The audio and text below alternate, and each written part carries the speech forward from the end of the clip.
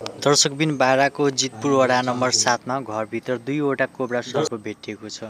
दर्शकबिनहरू म दिपक नेपाल अहिले म जितपुर सिमरा उपमहानगरपालिका वडा नम्बर सात जितपुरमा आएको छु। यहाँ चाहिँ एउटै घरमा चाहिँ दुईवटा गौन सर्प भेटिएको छ। पहिला एउटा रेस्क्यु गरेर लगिसकेको थियो भने अहिले पछि फेरि अर्को एउटा सर्प भेटिएको छ।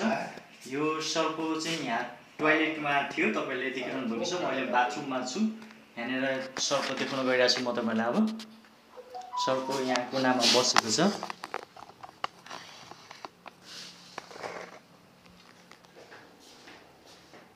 तपाईँहरूले देखिरहनु भएको छ त्यहाँनिर सर्प छ।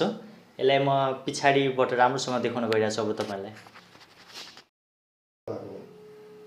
होइन त्यो चम्केको दर्शकबिनहरू म दिपक नेपाल। अहिले म जितपुर सिमरा उपमहानगरपालिका वडा नम्बर सातमा छु। तपाईँहरूले देखिरहनु भएको छ यो टोयलेटमा चाहिँ एउटा चाहिँ रे रेड स्पेक्टिकल कोब्रा चाहिँ भेटिएको छ यो गोवन सर्प हो यसले चाहिँ टोकेको मान्छे चाहिँ एक घन्टाभित्रमा मर्छ। तपाईँहरूले देखिरहनु भएको छ। अघि भर्खर पनि मैले यही घरबाट चाहिँ एउटा सर्प चाहिँ रेस्क्यु गरेर लिएर गएको थिएँ। तर घरमा पुग्ने बित्तिकै फेरि अर्को एउटा सर्प देखा पऱ्यो भनेर फोन आयो। र म यहाँ यो सर्प रेस्क्यु गर्न आइसकेको छु। तपाईँले देखिरहनु भएको छ। एकदमै खतरनाक सर्प छ यो। तपाईँहरूको पनि घरमा चाहिँ घरभित्र जुनसुकै रुममा चाहिँ यस्तो सर्प हुनसक्छ। पछिल्लो समय बाह्र पर्सा लगायत नेपालभरि नै सर्पको चाहिँ बिगबिगी बढिरहेको छ। र यो सर्पबाट बच्नको लागि रातिको समयमा हामीले झुल लगाएर सुत्नुपर्ने हुन्छ।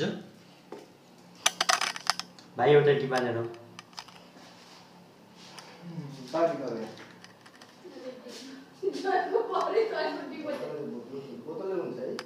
हुन्छ। त्यो मिनरल वाटरको बोतल भयो भने पनि भइहाल्छ त्यसमा पनि।